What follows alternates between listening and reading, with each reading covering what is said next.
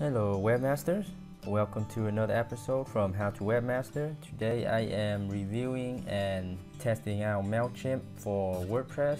It is a plugin that allows you to build a email list and send out newsletters by using MailChimp. So here's roughly an overview of MailChimp. It is an email marketing tool.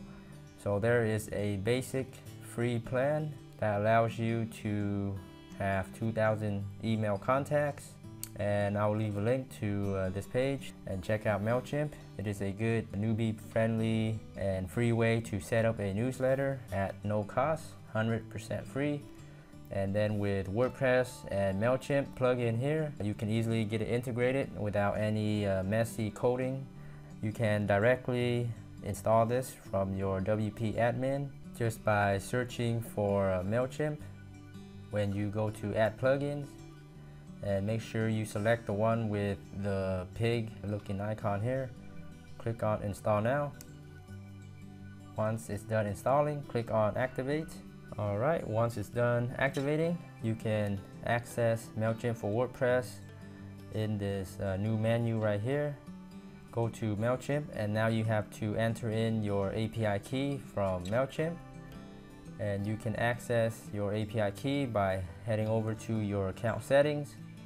Go to uh, the extra settings here and go to API keys. And here you can just simply copy and paste this API key uh, just like that and save changes and once you save change it will have a status connected status right here and also show a bunch of your lists that you've made from your MailChimp. And now we can create a form. Click on form here and you can add a new form name. And now to uh, which MailChimp list you want your uh, new subscribers to uh, be added to, you can just check the box. So I only have one right now, so let's add new form. Okay, so the form is successfully added. And here's your shortcode which you can use to display in your uh, post page or widget. So here's what the form looks like at the moment. And you can add in new things fields like birthday first name last name and things like that if you want. I'll just leave it as default for now now in the messages you can uh, customize how the message will be uh, displayed to your newly subscribers. And then in settings you can make changes to things like do you want to use double opt-in or not? So most of these you can just leave as default. And the appearance you can select a, uh, few different form styles. So let's try out a, a blue one just to see how that looks. Let's click save changes. Alrighty so here's how the form preview currently looking. Now you can add this short code. Just copy this right here into a, a post or a page. Okay so here's a quick test page I just created. And now let's paste in our new MailChimp for WordPress short code here exactly like that. Let's publish and see what it looks like so here it is. This is our test page and here's our newly added MailChimp form. And then the user simply enter in the email and then sign up to your form to your newsletter. And now let's try to add this form to the widget sidebar. Find the text widget right here. Let's drag it up and place it wherever you want let's call it sign up form.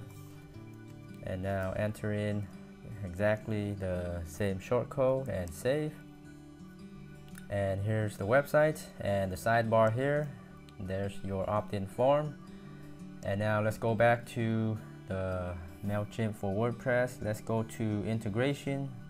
I'll just show you a couple more things. So you can also add commenters to your MailChimp list by enabling these options here, the comment and then registration. You can also automatically add new members to your list. So let's click on these two. And all you have to do is select uh, enable, yes. and now you have this option here whether you want to uh, let your commenter know that you are adding them to a list or not so this is up to you and then simply select your uh, MailChimp list. And then select things like the double opt-in or not and then click save changes. And it's the similar thing with the registration form for the default WordPress uh, members registration. You can fill in the same information and then click save. And that's pretty much all there is to easily add in MailChimp integrated with your WordPress site. Uh, just a simple uh, beginner friendly plugin and setup.